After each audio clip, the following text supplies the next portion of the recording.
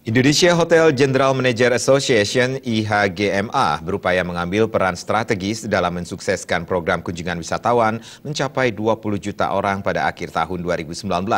Merealisasikan target tersebut, Indonesia Hotel General Manager Association berupaya meningkatkan kompetensi GM dan SDM lokal dalam menjaga pariwisata Indonesia secara berkelanjutan.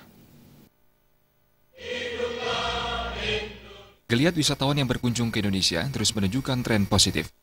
Tercatat, pada awal tahun 2016, Kementerian Pariwisata melaporkan kunjungan wisatawan mancanegara periode Januari hingga Desember 2015 mencapai 10.406.759 atau tumbuh sekitar 4,06 persen.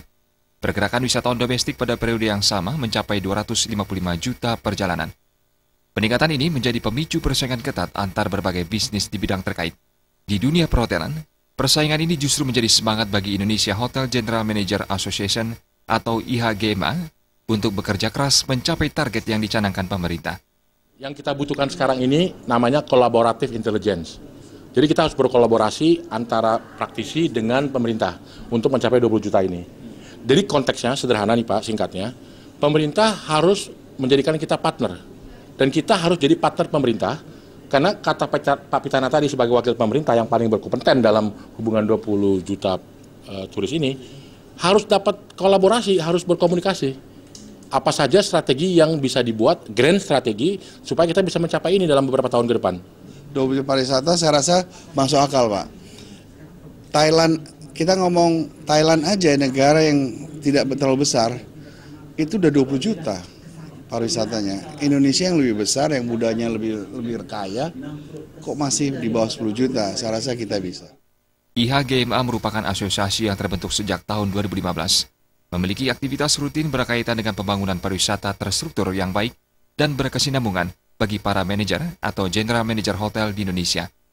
Melalui wadah IHGMA, para manajer atau GM hotel berupaya memperdayakan SDM dan kearifan lokal dengan memajukan pariwisata Indonesia. Melihat perkembangan dan keanggotaan serta keberadaan organisasi ini, DPP dan DPD IHGMA untuk kali pertama dikukuhkan dalam upacara inaugurasi. Kini, IHGMA telah beranggotakan sekitar 500 hotel manager atau GM dari hotel maupun villa di seluruh Indonesia.